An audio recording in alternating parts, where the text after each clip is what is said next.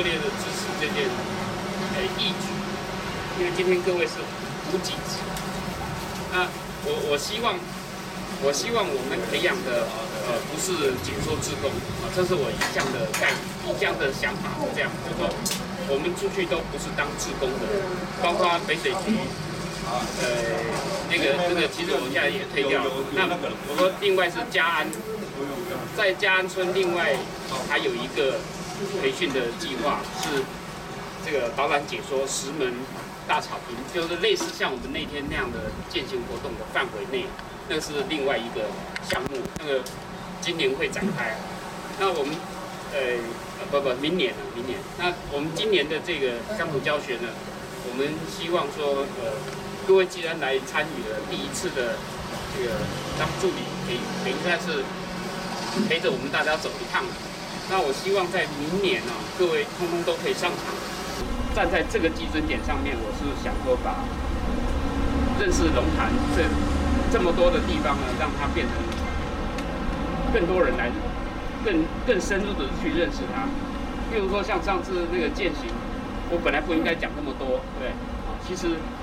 其实那个地方就是有这么多你不知道的事情，这个这个真的是有有它的内容在，所以，呃，那天那个林兆贤的秘书，他来找我，就是他还特别听留下来听一段，听一段，他也觉得还还可以啊，就呃陆陆续续会展开后面的培训工作，那到时候我们再在协会的资讯里面通知大家这样，好吧？那今天。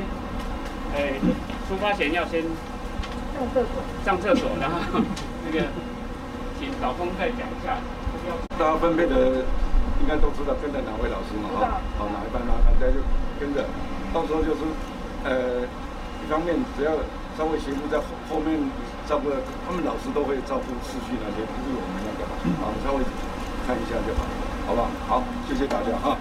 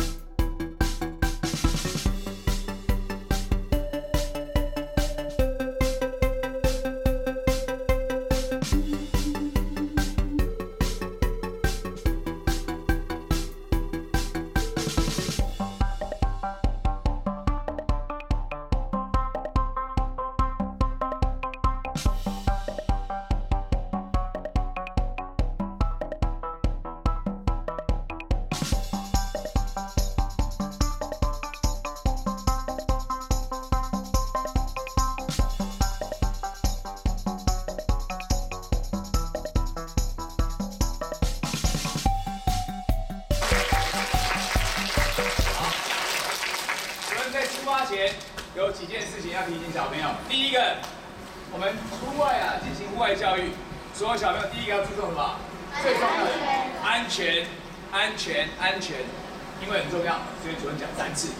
希望所有小朋友在游览车上，在导览的时候，以及在你自由行活动的时间，你一定要注意到安全啊，也要注意到旁边同学的安全啊，不要因为你一个人的疏忽啊，造成别人受伤。啊，这是第一件事情，好，非常的重要啊，所以主任放在第一个。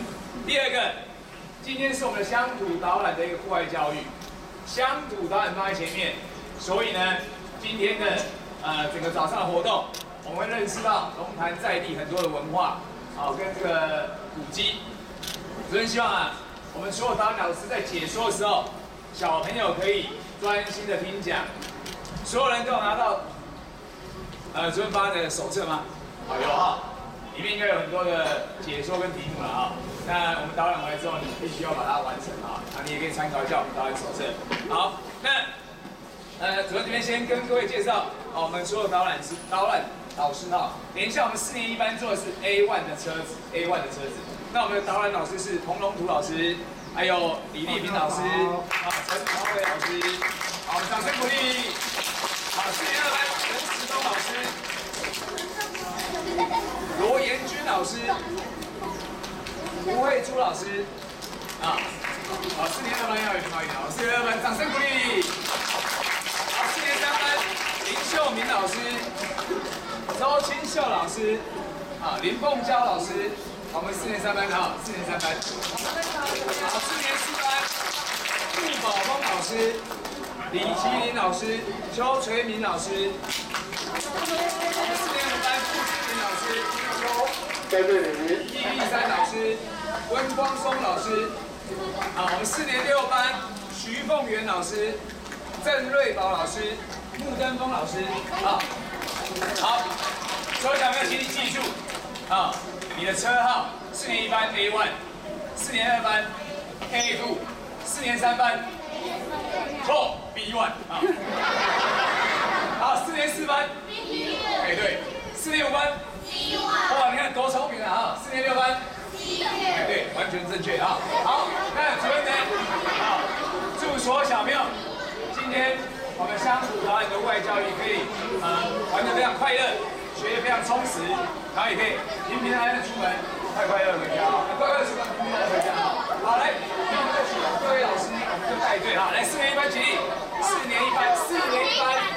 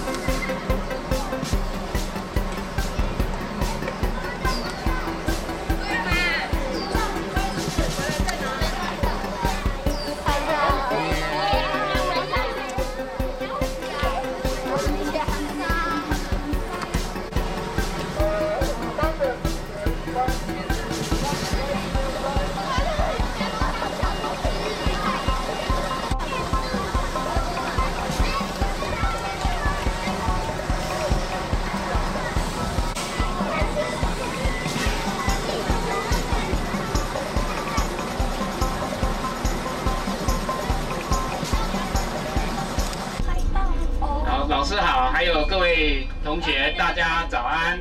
太冷。早安。哇，怎么这么小声呢？早餐有没有吃？没有。没有。乡土教学要出去外面走半天呢，所以，呃，如果你有带着早餐的话，下车的时候在车上不要吃了哈。下车的时候，你自己找机会稍微补充一下，不然等一下昏倒了不得了哈。来，我们要谢谢杨叔叔。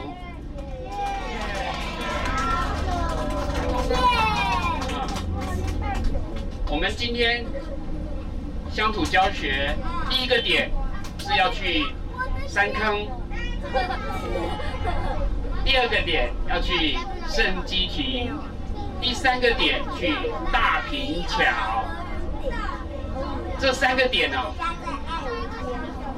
这三个点它都有排行榜第一名的地方哦。第一个，我们现在要去的山坑，它是龙潭第一街，就是龙潭最早有很多的做生意的人在那边聚集。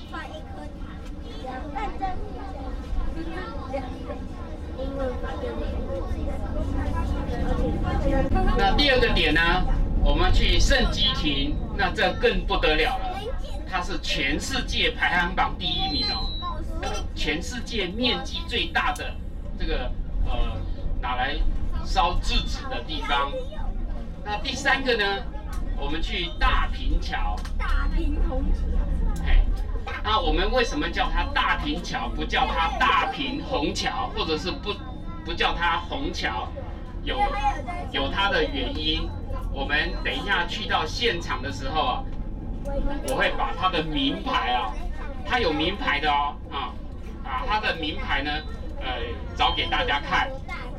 那我们刚刚前面不是讲说我们三个地方都是有第一吗？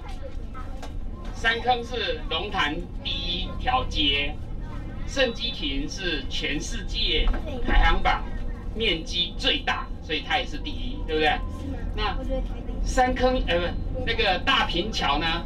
大平桥它是全台湾唯一从日本时代一直留到现在是唯一哦，没有坏掉、没有整修过的桥。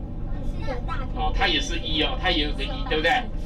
我们这选这三个地方，当然除了它这个每个都是第一以外，我们还会有其他的内容啊，要介绍给大家的。我终于记得我要喝水。我们呃非常感谢这个杨叔叔帮我们绕一大圈啊，让我们知道。你知道现在我们走在什么地方吗？交流道啊，交流道这边它有一个古地名叫大湖底。你知道什么叫大湖底吗？大湖知不知道？大小的大，湖呢是湖水，湖水就是那个大湖，对，跟大湖草莓那两个字完全一样。它大湖底有个底是什么意思？就是最底下啊，最底下的那个底。这个大湖底的意思就是以前龙潭哦，如果没有这些马路，没有开垦，没有住很多人的时候，这个地方龙潭如果排水排的不好，会淹水。淹了一段时候，它会水会退掉，那最后水没有退掉的地方就是这个地方，因为它没有水没有退掉，所以大家可以看到原来是大湖的话是很大一片的池塘，都是水，对不对？水慢慢慢慢退掉了以后，它那个水是不是越来越小，越来越小？好，到最后最后的那个剩下的那个底呀、那个池塘的底呀、水还没有退掉。那就算是它退掉，它也都是什么？会是硬硬的还是烂泥巴？有一点点水的时候，底下是不是都是烂泥巴啊？那就这样子的一个地方呢，它都是烂泥巴，而且都是比较低的地方，所以到前几年为止哦，它都是很容易淹水的地方，啊，很容易淹水。那这几年改善了它的排水排水沟啊，啊就让它的淹水的状况就改善的非常的多啊。那可是它还是算比较低的地方，比较低。那我们现在是呃沿着中正路要要往那个山坑的方向走了。那中正路很长，中正路从怪怪屋知道吗？啊从怪怪屋那边都算中正路哦，一路一直过来到山坑，快到快到石门水库去了啊，这么长，全部都是中正路。可是中正路这么长，大家要分的时候，譬如说我说我是中正路一号，你说你是中正路一千号，哇，大家不清楚那一跟一千到底差在什么地方，对不对？好，那我们等一下要去的那个地方呢，叫三坑啊，是不是？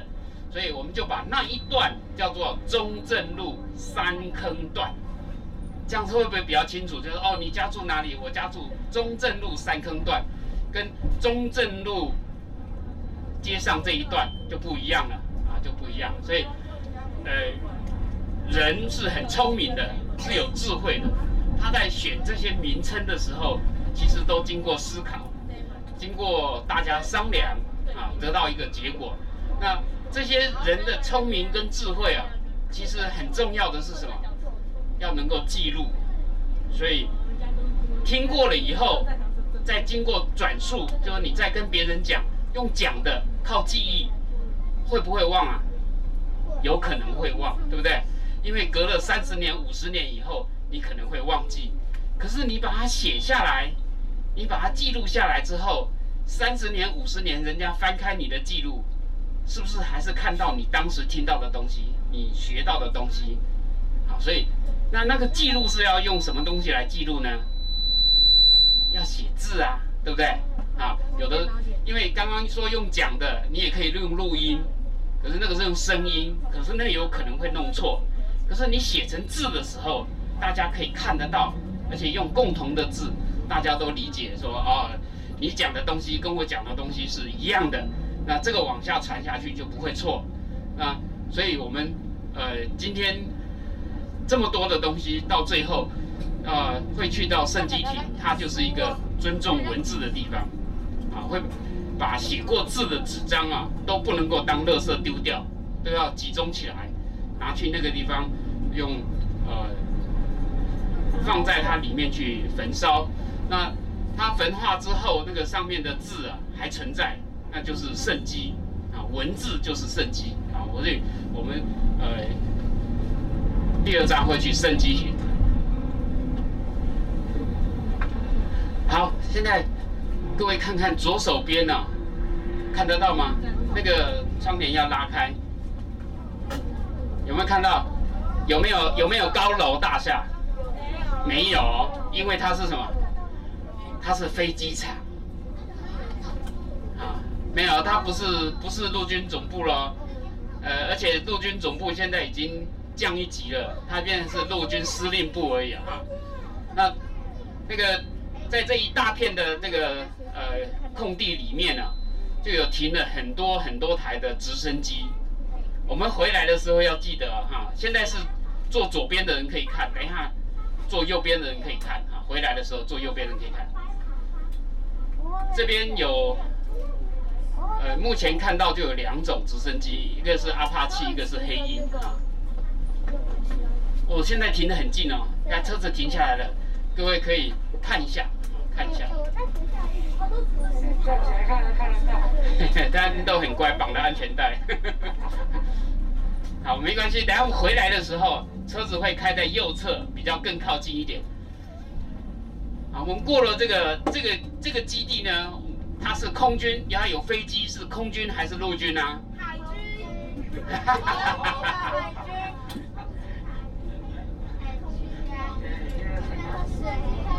各位都很活泼哈，呃，它不是海军，他有飞机，也不是空军哦，他是陆军啊，它是属于陆军的轻航空队，轻很轻重的轻，航空知道这意思吗？哈，轻航空队啊，他们的飞机就是以直升机为主的。那右手边哦，刚刚过了，右手边刚是呃客家文化馆，不是文物馆哦，啊，是客家文化馆。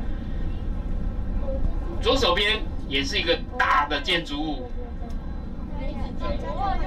女子监狱。好了，那现在要开始看哦，开始往外面看哦。你觉得我们现在的车子是往下还是往上？往下了。这个溜滑梯可以溜的很久很久哦。啊，你大概呃去那个水上乐园都没有这么长的溜滑梯哦。啊，一路一直往下溜。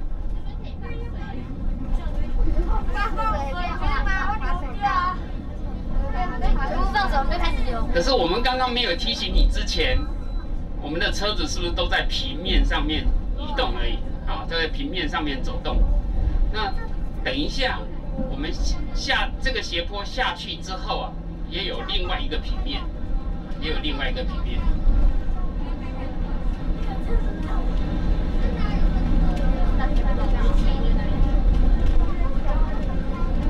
好了，斜坡差不多结束了，有没有感觉它现在是平的了？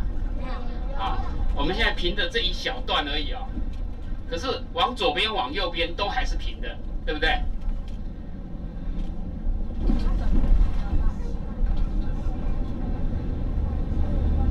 过了十字路口，左手边也有一个很大的建筑物，有围墙的。啊。大学啊？哦，不是，它是中山科学研究院，我们就简称它中科院。以前是国防部在管的，它现在是成立变成是呃行政行政法人国家，所以它属于国家的国家中山科学研究院。好，又开始上坡还是下坡？哎，下坡。对，这条路就是往山坑，也是往石门水库，也是往石门水库跟山坑中间呢、啊，还有一个地方叫大坪，二坪，有没有？好，那等一下到这个下一个这个红绿灯的时候，就是到三坑了，我们就要准备左转进去了。车子停好以后，大家再下车啊。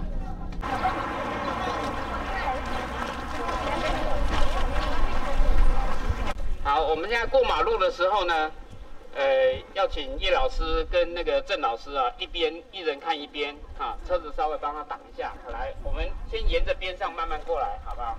来，跟着我来。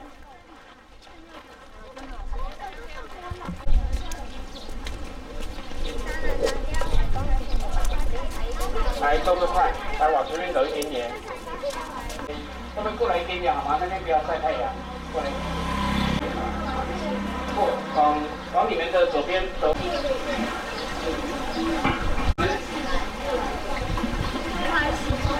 他们在开始在念那上面的字，所以这个上面呢，它写着黑白喜还是喜白黑呢？黑白喜，对不对？那各位有没有学客家话呢？抹啊，你跟我讲抹，油，好。那客家话里面啊，有没有黑白喜怎么念？欧北线 是闽南话。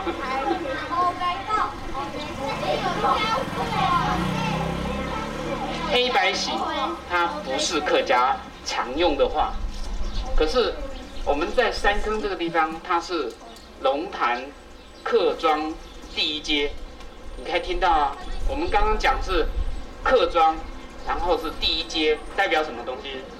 一个是它这个地方大部分是客家人才会被称为客庄、客家庄。那第一街呢？是代表说以前这边有很多人在这里做生意，所以才会有街这个名称。好，那我们就我们今天就这两个题目啊，来跟大家介绍三坑，让你去这样子去认识三坑啊，比较容易。可是，一进来为什么会有一个黑白喜这样的不是客家常用的语词啊，放在这个地方？哎，它看起来它上面说。黑白水，黑白洗，若能洗净。哎，各位小朋友，看看你们的眼睛视力好不好？再下去怎么念啊？若能洗净人间黑白事，必然可化三坑为三康。好，这就出现了几个问题哦。第一个是黑白洗不是客家话哦。第二个是。黑白水，什么叫黑白水？什么叫黑白洗啊？然后为什么要洗尽人间黑白事？那他要把三坑化为三康。第一个，三坑就是这个地方叫三坑，对不对？好，那为什么叫三坑？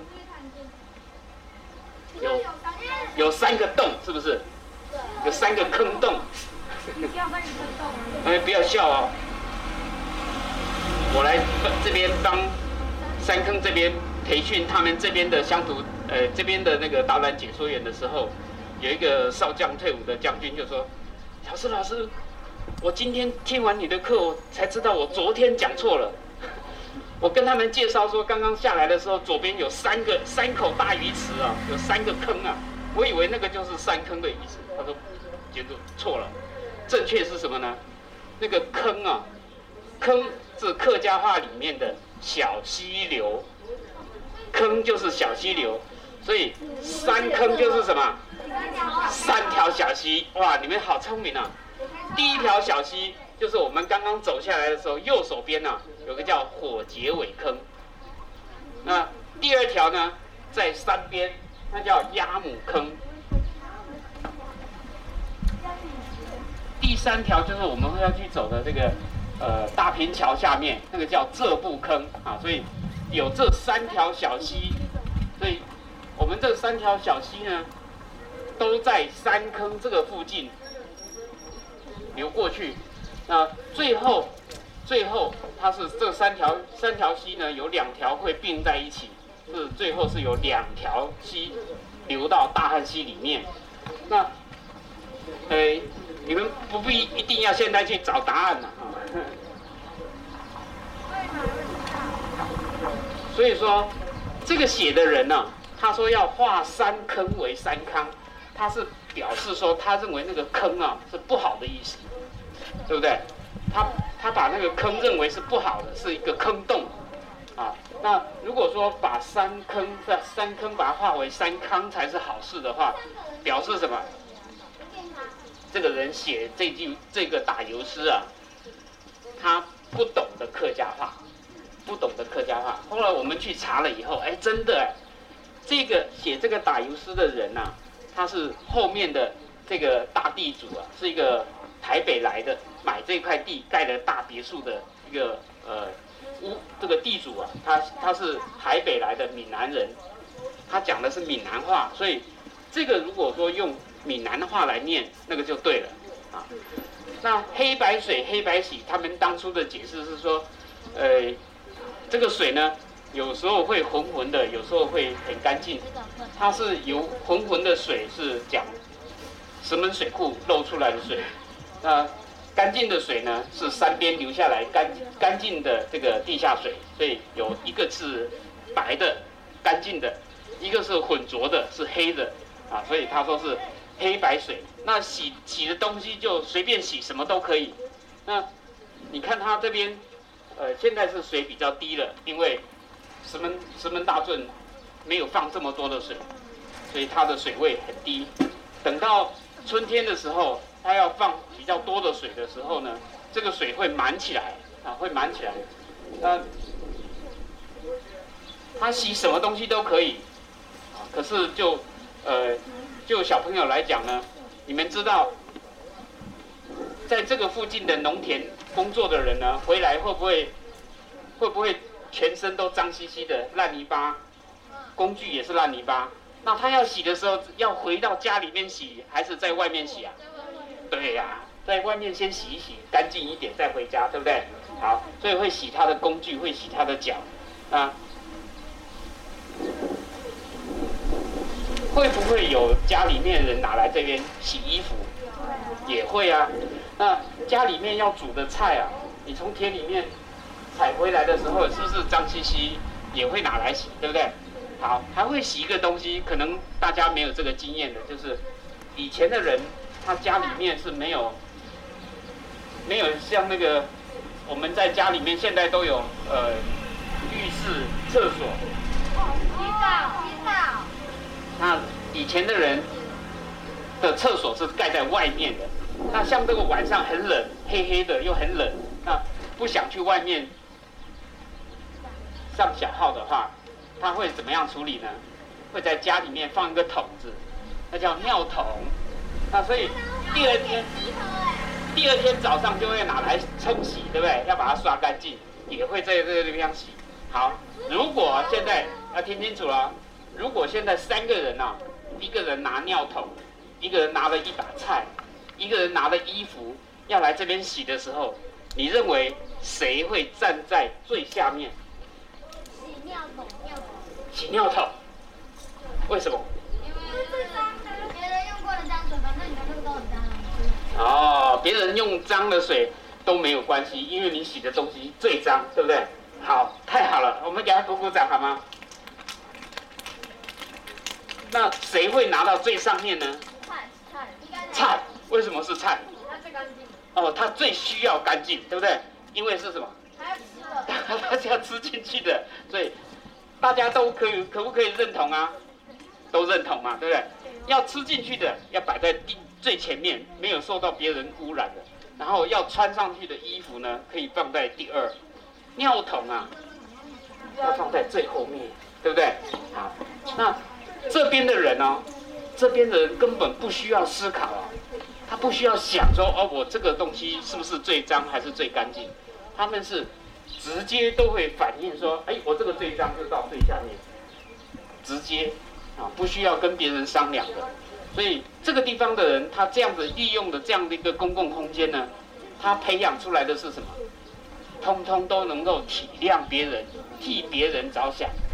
那。最后，最后呢，这替别人着想的这种心呐，同理心，反映在哪里呢？反映在最后面的永福宫里面，他拜拜的神呐，一个客家庄，他可以把闽南人拜的神呐，一起放在庙里面一起拜，啊，那这个就是他的同理心的一个呃延伸呐，啊，老街在哪里？看得到吗？看不到。这个就是三坑老街它的设计，它设计给你从外面来，跟对这个地方不熟悉的人啊，没有办法一眼看穿。为什么呢？因为它里面的人是比较富有的，他有他有财有物，对不对？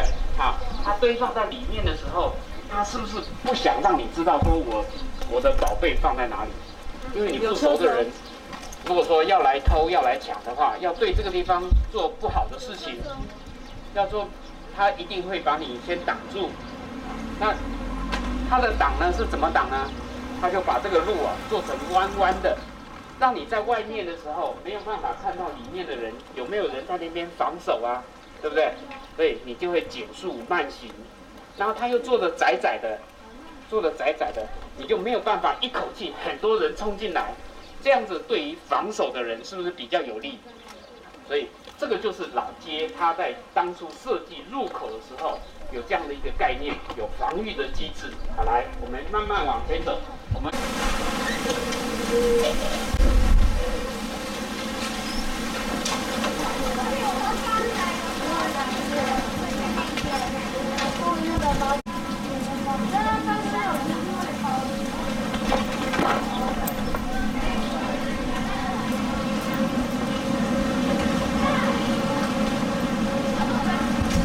香菜包，然后它里面有很多的东西，有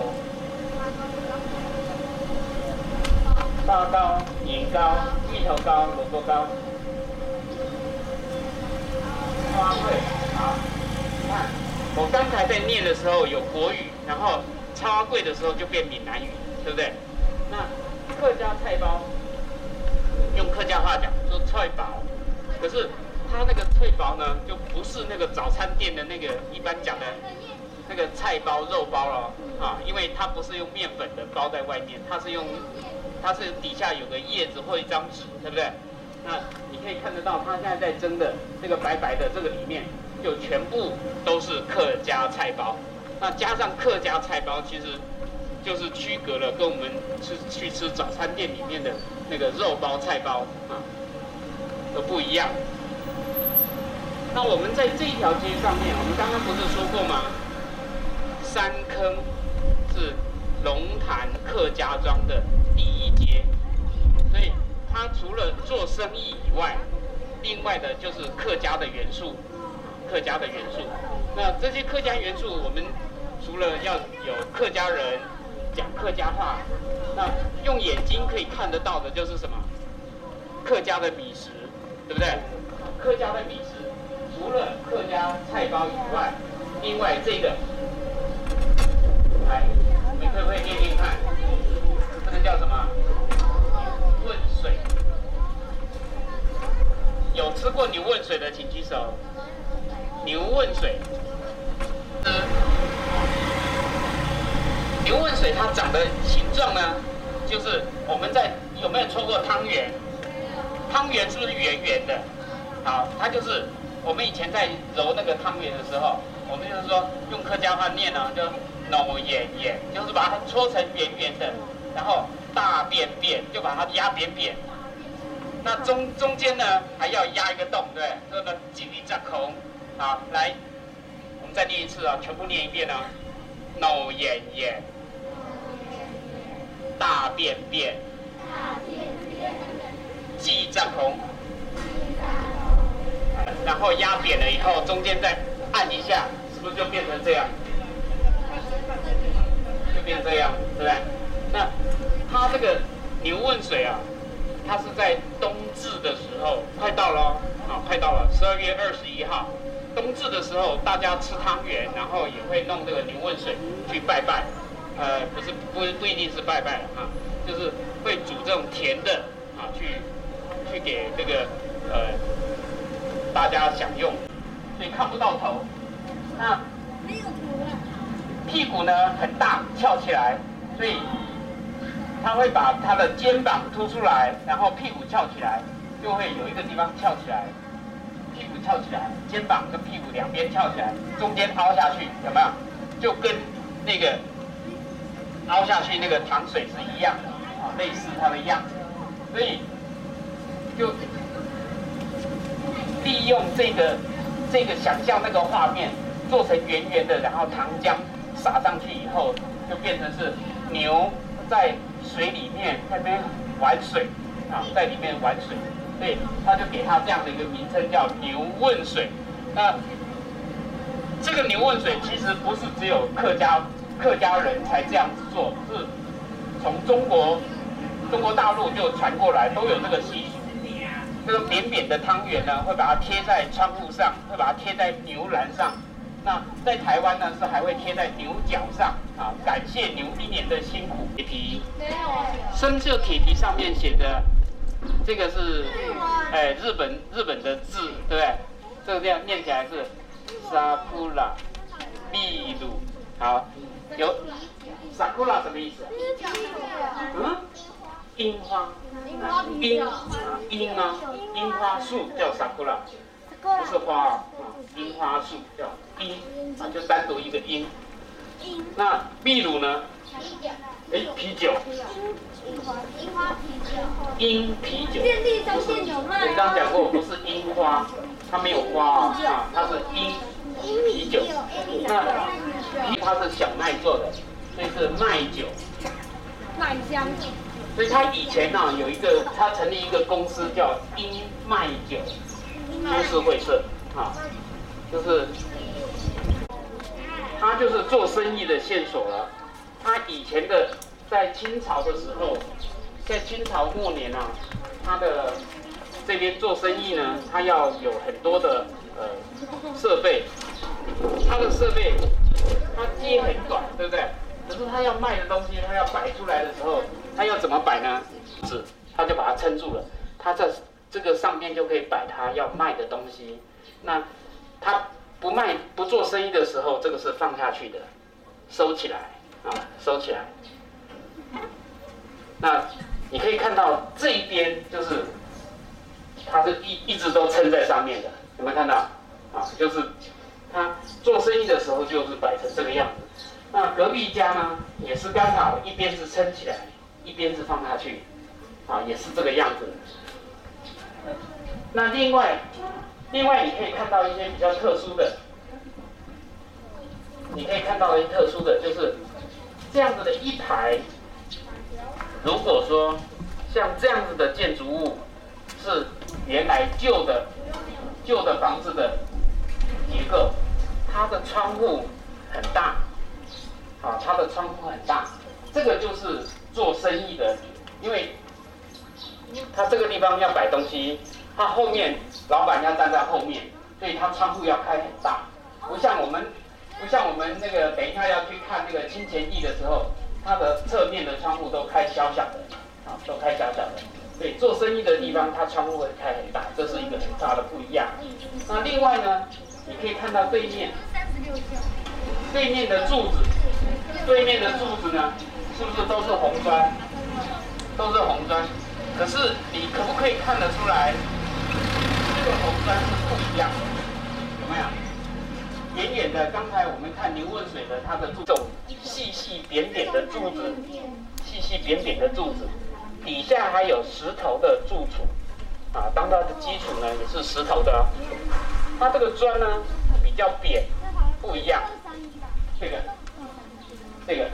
都是扁扁的，它是不一样的，它叫它是从福州那边送货，我们的这边的货品送到中国大陆去福州，然后再从福州那边把他们那边的建材啊再过来。那因为回来不可能是空船啊，空船的话走起来会船会晃得太厉害，所以会有一些木头或者是那个石石材会压在舱里面。所以我们称它叫压舱石。那这个砖呢，就是从中国大陆那边运回来的啊。呃，他为了要装饰他的门面，用最高级的、当时最时髦的也当然也是最贵的建材。好，那所以说，像这样子的一些，在表面上让它秀出来，让各位看的时候呢，它就是表示说它是做生意的地方，它很重视门面。你有什么问题？有这个挂灯笼啊？哦，挂灯笼他们是只是呃好看装饰而已，装饰。对，用客家花布。嗯？这个。这个是这是挂那个遮阳的东西的。好，来我们呃，我们看刚才最左边那边有一个江夏堂啊，那我们等一下往这边看看看，也有编念过来的。好，他这个堂号就是代表他的姓氏啊。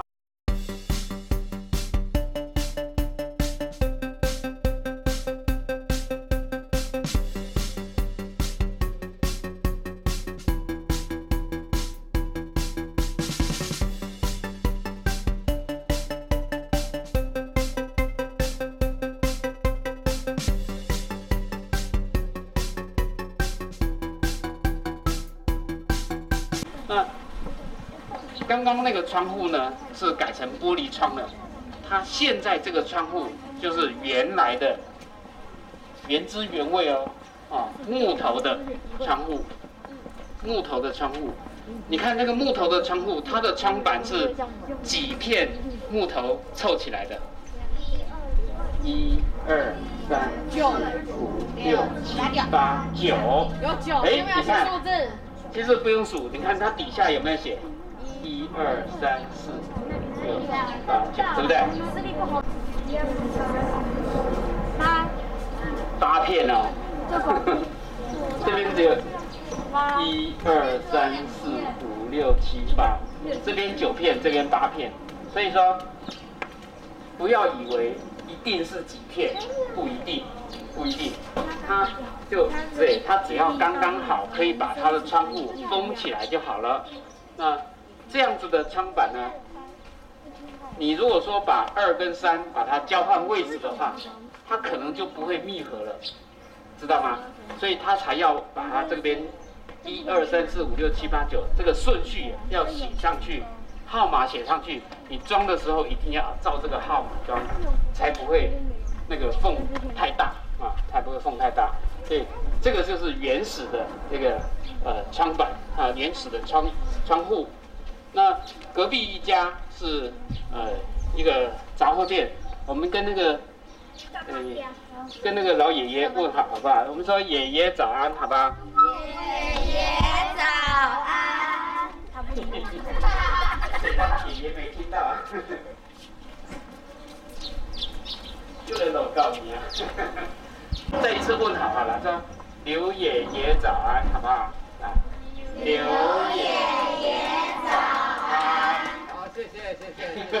这下刘爷爷听到了。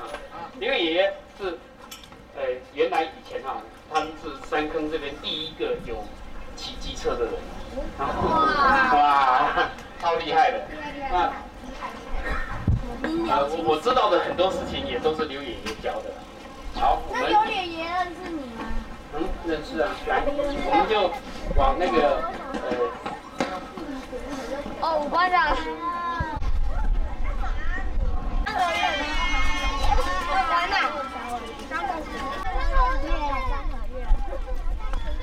一个小小的三。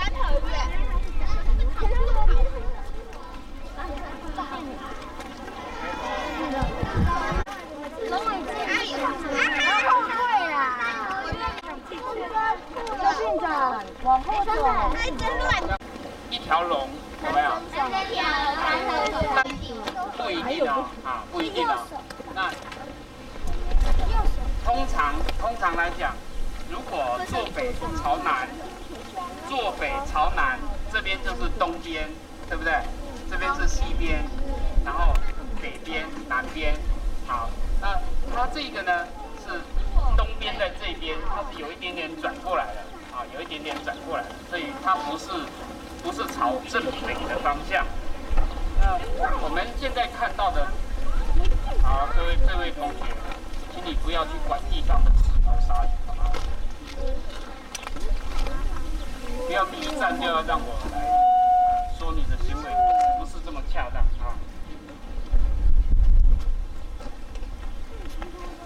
我们现在看到眼前的这个建筑物，你看到的说是叫三合院。那可是在，在客家话里面讲，它叫做火房屋？火房屋，或者以前有的也有叫做大瓦屋。那它所谓的三合其实就是一二三嘛，哈，这样三个。如果说四合院要长什么样子才叫四合院？前面前面这一排围墙是房子，啊，是一个房子，是可以住，可以有人有一个厚度的空间，是有个房间的。那这个把它包起来以后，四面都包起来都是房子，那这个时候才叫做四合院。有钱人才会盖。对，越有钱的人，他盖的旁边就越多，啊，后面也会越多。那它就会有层次，就好像学校的这个呃所谓的，呃对五凤楼啊那些一样。那它现在我们可以看到前面哦，这个是正厅，啊，这最最前面这个是正厅。正厅的中间这一间呢，是放祖先牌位的，祭拜祭祭拜祖先的，是一个公厅。没有住人哦，啊，没有床铺哦。那两边，它的两边才开始有住，呃，可能是这个爷爷奶奶啊，哈，阿公阿婆啊的，就是这些比较长辈的住两边。那还是在，那还是在红的那一这个呃正厅的那一条。那这两边呢？这两边用国语的名称呢，叫做。呃，左护龙，右护龙，还是客家话会讲啊。这个跟正厅比，讲起来它就是什么横的，啊，这是正的，啊，这个后面这个是正的，那这两边就是横的，对，这边是左边的横，这边是右边的横，那它的高度也会从中间比较高，两边比较低，然后。横这边也是后面比较高，前面比较低，它会慢慢的这个有层次的，一一点一点的往下变化啊，降低。那所以刚刚刚刚各位同学都已经很清楚了，单伸手不一定要伸左手。为什么很多人会有一个错误的想法，就是呃，他们讲到单伸手的时候说，哎，因为左手边比较尊贵。一定要先伸左手，不对哦，就这样。我们目前看到的三合院，要往外面多盖这个护笼，或多盖这个横屋的时候，也有很多人讲说，哎，那增加的时候要从左边先增加，右边慢一慢比较慢，比较慢盖。那你现在看起来，我们现在的横屋。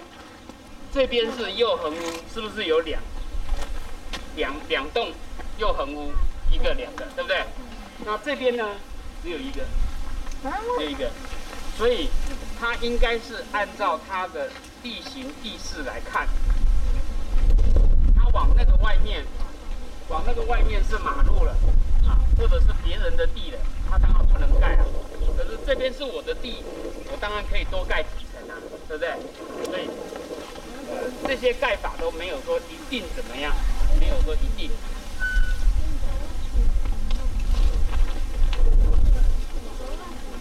那会看到我们刚刚走过来的时候，是不是有看到江夏堂、东海堂？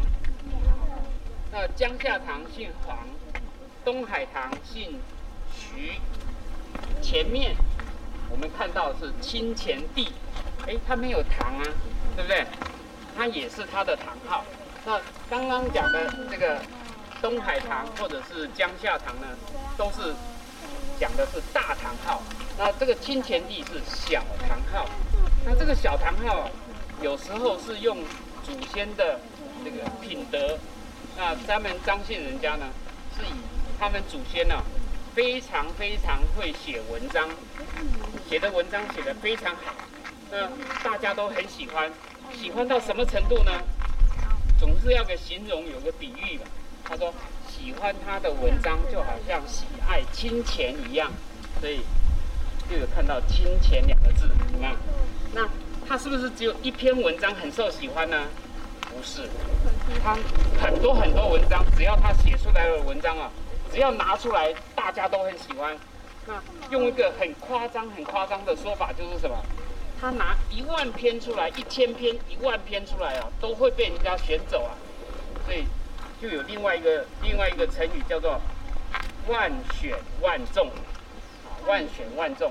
那既然又有金钱，又有万选，所以金钱跟万选这四个字啊，就变成是他们在立一个典范，立一个标准，说我们以后的后世子孙呢、都要以这个祖先的文采当做学习的榜样，那把它放在他们的自己的厅这个厅堂的门楣上面，让大家变成是一个呃随时随地都可以看得到的一个提醒。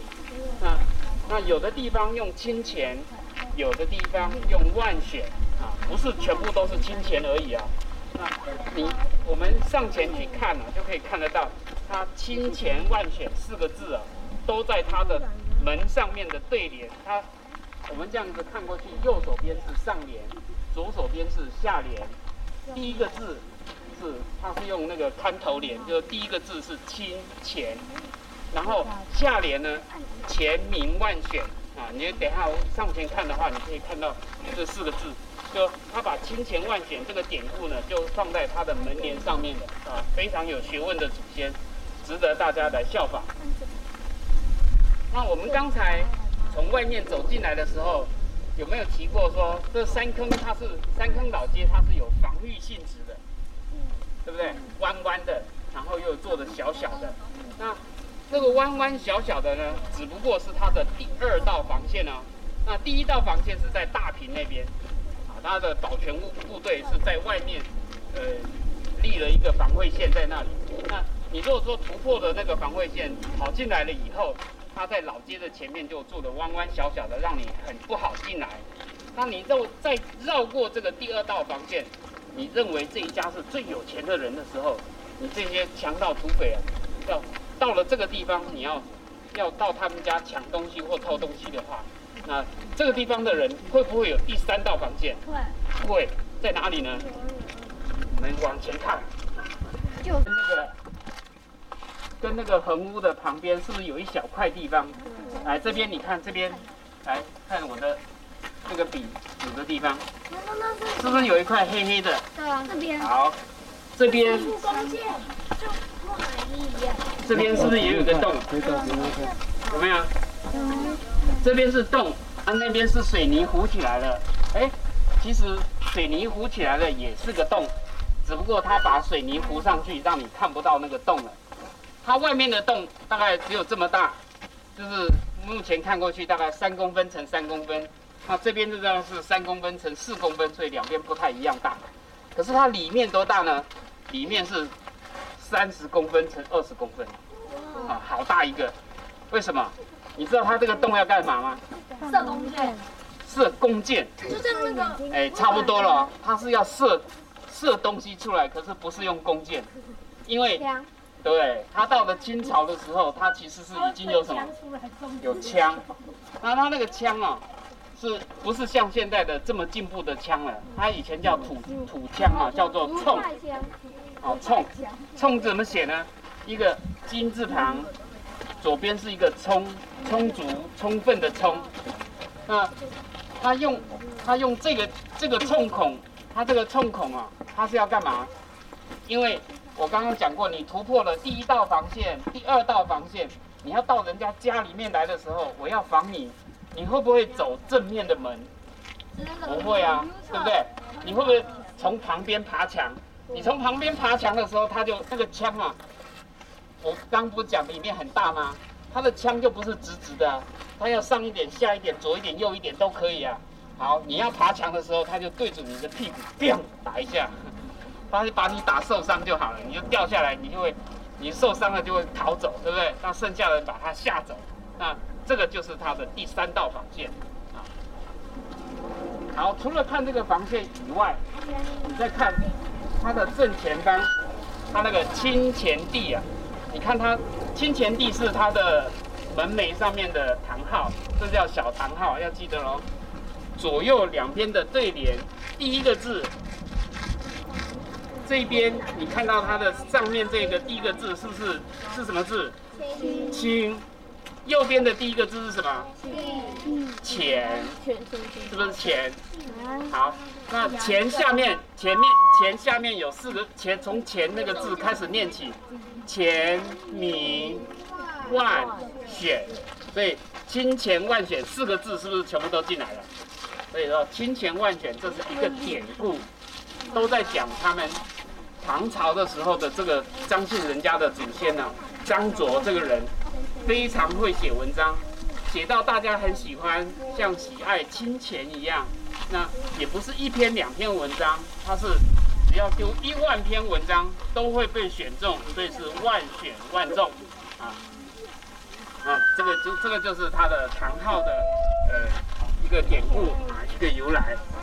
来，注意找位置，不要被挡到。一、二、三，再一张，一二三。四 OK，好。好，来起立。老师，你拍下速度好快哦。好吧，要要拍动漫。不 想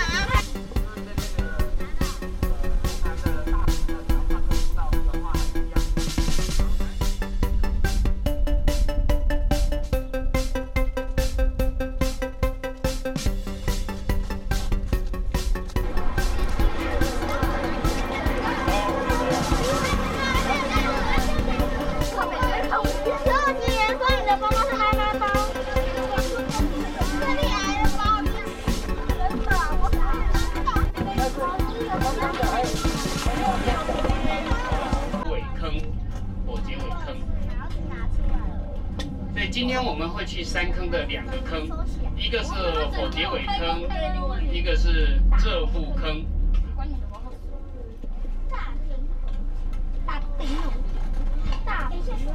我们现在车子的正前方啊，有石板的这个阶梯，那个那个通道呢，走上去就是石门国小。东海清前地江夏塔，三坑老街有一片。古老的招牌，它上面卖的是啤酒。它的信仰中心是永福宫。哦，这个没有讲到。大那个永福宫的门口啊，它写的是二十四孝柱。大平桥的材料是用石头还是用红砖啊？红砖。我们刚刚有解释过，那个大平桥的，我们站在桥的这一边是三坑啊，另外那一边是大平，所以它是哪两个村的交通要道？对呀，大平跟三坑啊，这个就不用再解释。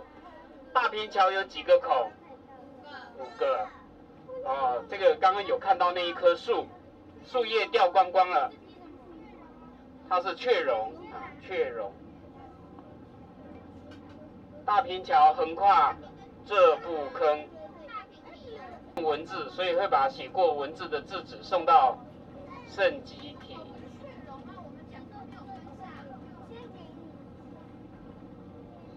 现在大家一样爱惜纸张，选择珍惜纸张的方式是送去资源回收再利用啊。现在呃，因为那个古迹啊，我们尽量。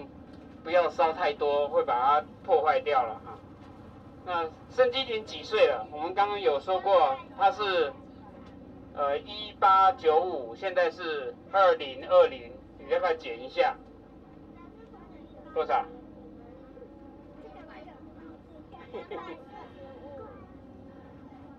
一八九五加两百的话是多少？呃，一八七五，对不起，一八七五，一八七五加两百的话是二零七五，所以它没有两百，对不对？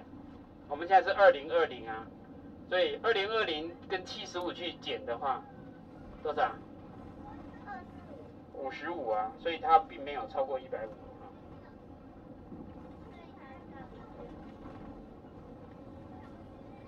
我们有提过说，在宋在圣基廷这边唯一会办的祭典叫做送圣基，那是美浓跟龙潭的啊，他烧的烧这个制纸的纸灰啊，是把它送出去。圣基亭有哪些名字？静字、字纸，还有字炉啊，只有那个八角亭不是。那三个图是什么意思？哦，这个就太简单了。狮子函件是驱邪避魔，领领土御书是圣人出世，凤鸟贤书就是直接底下文风鼎盛的。那领土御书为什么是圣人出世啊？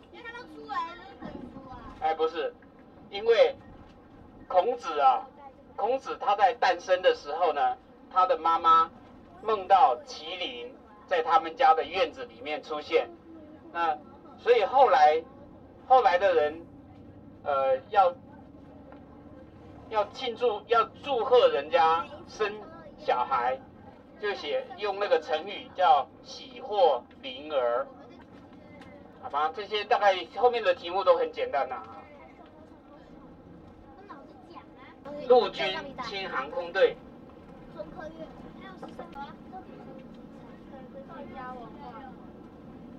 片呢，它就叫三角林。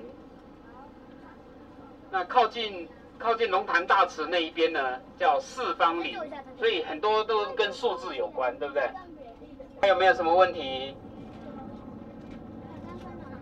啊，没有问题的话，要开始收拾东西了。把你刚刚拿出来的纸啊、笔啊、橡皮擦啊。要把它收拾好。我们刚刚有讲说二零掌声，我们谢谢杨叔叔。来，我们热烈的掌声，然后喊说谢谢杨叔叔。来，一二三，谢谢杨叔叔。然后第二个，今天是谁请大家吃客家菜包啊？老师啊，也要谢谢，要不要谢谢老师？哎，您平常的谢谢是什么？爱的鼓励还是什么？都是老师没有叫我们说过谢谢。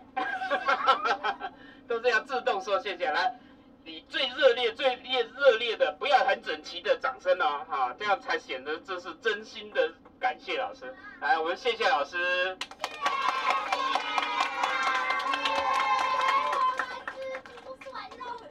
希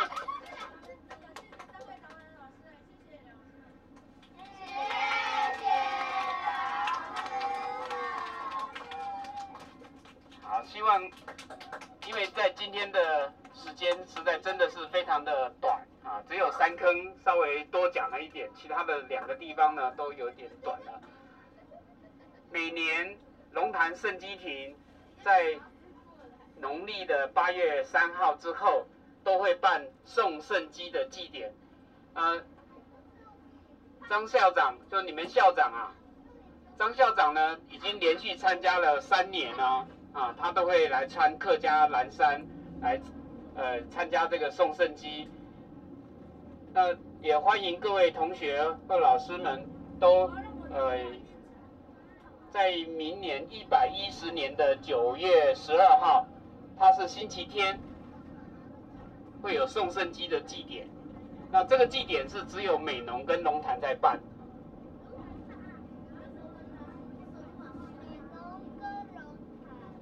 美浓是高雄的美浓，那你要到高雄去看，当然也可以，很远，对不对？那我们就近就在龙潭看。如果各位有兴趣的话，甚至是可以，呃，透过老师或者是林主任啊，你可以跟他讲说，我会到时候会把信息传给他。就是如果我们同学有意有意愿来挑圣机的话，挑圣机啊。我们可以让你参加来挑圣机，送到那个附近的小河，把那个呃把那个烧过烧过的那个纸灰啊啊送到河边去。